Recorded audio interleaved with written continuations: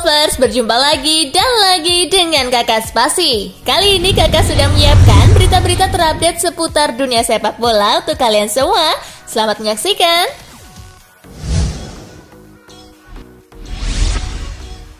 Peter Cech resmi kembali ke Chelsea Teka-teki mengenai masa depan Peter Cech akhirnya terungkap. Sosok veteran itu memutuskan kembali ke Chelsea untuk bergabung dengan staff The Blues musim depan. Cech sendiri dikenal sebagai salah satu ikon Chelsea di masanya. Kiper asal Republik Ceko itu memperkuat The Blues selama 11 tahun sebelum pindah ke Arsenal di tahun 2015 silam.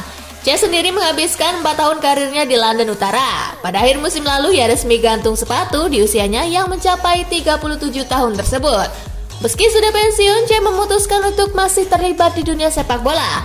Beberapa saat yang lalu, pihak Chelsea mengumumkan bahwa Cech resmi memutuskan kembali ke Stamford Bridge dengan peran yang baru. Menurut pernyataan resmi mereka, Chelsea membeberkan bahwa Cech akan mengemban tugas yang penting. Ia akan memberikan masukan mengenai segala hal yang berkaitan dengan teknis performa tim dalam sepak bola. Usai berkarir selama 18 tahun, Fernando Torres akhirnya putuskan pensiun. Penyerang asal Spanyol Fernando Torres baru saja mengumumkan kabar dirinya pensiun pada Jumat 21 Juni 2019 melalui Twitter pribadinya. Ia memutuskan untuk menggantungkan sepatunya usai mengarungi dunia persepak bolaan selama 18 tahun. Tepatnya, Torres memilih pensiun ketika usianya sudah menginjak 35 tahun.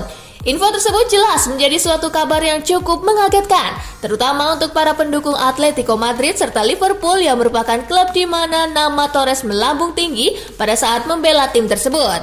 Kendati demikian, alasan mengapa Torres memilih untuk pensiun sekarang ini masih dipertanyakan. Karenanya, menurut postingan yang diunggah Torres di Twitter pribadinya, ia akan melangsungkan sebuah konferensi pers pada Minggu 23 Juni 2019 untuk menjelaskan mengapa dirinya memilih pensiun di akhir musim 2018-2019 atau di musim panas 2019 kali ini. Di konferensi pers tersebut pun, Torres akan memberikan alasan mengapa pensiun di Sagan Tosu, klub yang sedang dibelanya di Liga Jepang semenjak awal 2018-2019 kemarin.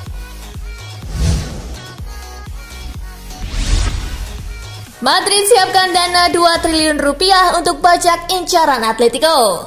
Pergerakan Real Madrid di bursa transfer musim panas 2019 tampaknya masih belum berakhir. Usai mendaratkan 5 pemain baru, kini tim besutan Zinedine Zidane itu sudah siap kembali menggoda pemain lain agar mau bergabung dengan klub berjuluk Los Blancos tersebut. Terbaru, Madrid dikabarkan Marka Jumat 21 Juni 2019 tengah mengincar salah satu pemain incaran Atletico Madrid di bursa transfer musim panas kali ini.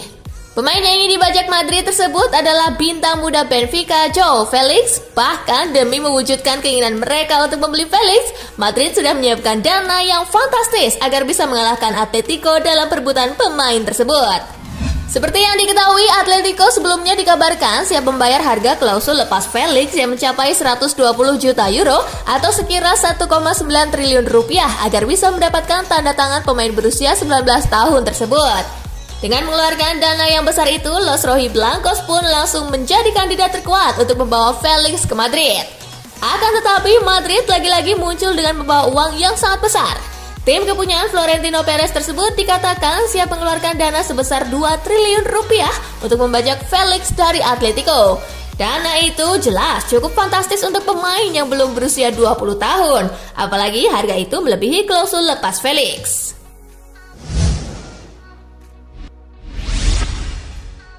TVRI resmi siarkan Premier League 2019-2020 di Indonesia. Sebuah kabar gembira bagi para Polanetas penggila Premier League Inggris. Stasiun Televisi Nasional TVRI resmi menjadi pemilik lisensi dan hak siar Premier League di Indonesia musim 2019-2020. TVRI akan bekerja sama dengan Mola TV untuk menyiarkan kompetisi paling bergengsi di tanah Britania itu musim depan. TVRI akan menyiarkan dua pertandingan Premier League dalam sepekan secara free to air atau FTA analog dan digital. Direktur Utama TVRI Helmi Yahya menyambut baik kepercayaan yang diberikan Mola TV kepada pihaknya. Helmi Yahya berharap tayangan pertandingan Premier League itu bisa menjadi hiburan rakyat di seluruh Indonesia. Pemilihan TVRI sebagai televisi yang akan menyiarkan Premier League 2019-2020 karena alasan jangkauannya luas.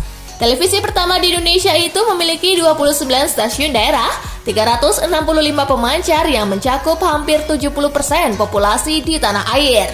Sementara itu, Chief Operation Officer Mola TV Ferry Wiraatmaja mengaku masih tidak percaya bisa mewujudkan kerjasama untuk menayangkan Premier League di Indonesia. Ferry berharap siaran-siaran pertandingan Premier League bisa dinikmati masyarakat. TVRI akan menyiarkan dua pertandingan Premier League masing-masing pada hari Sabtu dan juga Minggu. Pertandingan yang disiarkan adalah yang melibatkan tim-tim elit di tanah Britania Raya tersebut.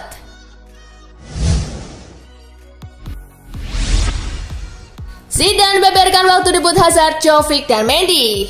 Sejauh ini Real Madrid menjadi klub yang paling boros dalam berbelanja pemain di bursa transfer musim panas 2019. Tercatat sudah lima pemain yang mereka datangkan dengan total harga lebih dari 300 juta euro. Luar biasanya Madrid juga sudah menyiapkan waktu debut bagi mereka. Pelatih Real Madrid Zinedine Zidane mengaku senang karena Los Blancos bergerak cepat di bursa transfer. Karena dengan begitu, para rekrutan anyar bisa mengikuti tur pramusim Madrid sejak awal. Mereka akan memulai tur pramusim kali ini dari markas latihan di Montreal, Kanada. Setelahnya, rombongan Madrid akan menuju Amerika Serikat untuk berpartisipasi dalam ajang International Champion Cup atau ICC. Rencananya, dalam ajang ICC itulah Zidane akan menjajal para pemain barunya. Lawan pertama yang akan dihadapi Madrid di ICC adalah Bayern Munich pada 21 Juli 2019.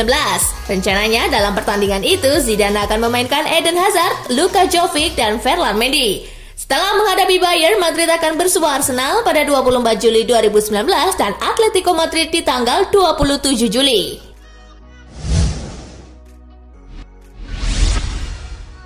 Liverpool terdepan dapatkan Hakim Ziyech. Liverpool memang belum menunjukkan satu manuver menentukan di bursa transfer musim panas 2019. Namun diam-diam The Reds disebut sedang berupaya untuk mendatangkan Hakim Ziyech. Hakim Ziyech menjadi pemain yang mampu mencuri perhatian pada musim 2018-2019 lalu. Pemain berusia 26 tahun tersebut bermain gemilang untuk Ayak. Hakim Ziyech yang lahir di Belanda tetapi membela timnas Maroko, sukses membawa Ayak meraih double winner di pentas domestik. Dia membawa Ajax menjadi juara di ajang Eredivisie dan KNVB Becker. Selain itu, Hakim Ziyech juga turut membawa Ajax melaju ke babak semifinal Liga Champions musim lalu. Namun, langkah gemilang pasukan Erik Ten Hag dikandaskan oleh Tottenham. Dilansir dari Sports Mall, kini Liverpool disebut tertarik pada Hakim Ziyech. The Reds cukup serius untuk bisa membelinya. Hakim Ziyech bahkan dinilai menjadi proyek yang lebih bagus dibanding membeli Nabil Fekir dari Lyon.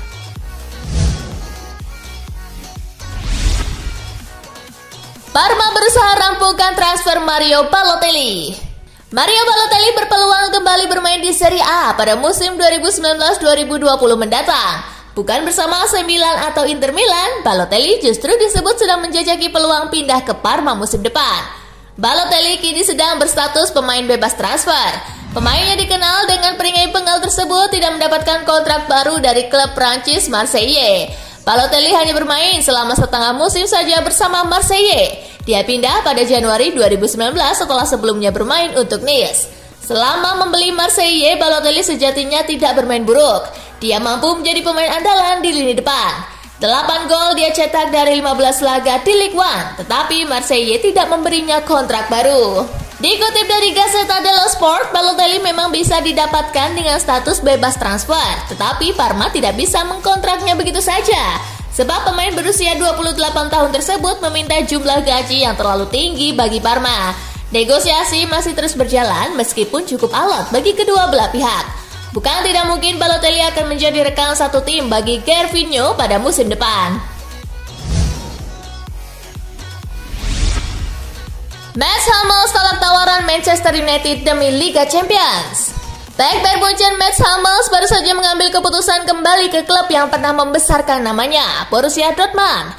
Namun kabarnya Hummels sampai menolak tawaran gaji 12 juta euro per tahun atau sekitar 193 miliar rupiah yang siap dikeluarkan oleh Manchester United. Seperti diungkapkan Bild, Manchester United merupakan klub yang tertarik untuk mendatangkan Mats Hummels dari Bayern Munchen sebelum sang pemain memutuskan kembali memperkuat Borussia Dortmund. Namun seperti dilansir dari Cock Offside, Hummels menolak tawaran dari Manchester United dan menerima tawaran yang lebih kecil dari Dortmund karena alasan sepak bola, di mana Hummels ingin bermain di Liga Champions musim depan.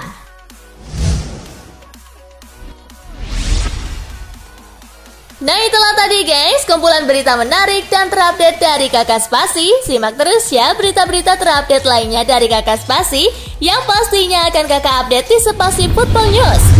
Tapi jangan ditinggalin ya channel Spasinya. Karena kakak akan update juga tentang fakta-fakta menarik seputar sepak bola dunia.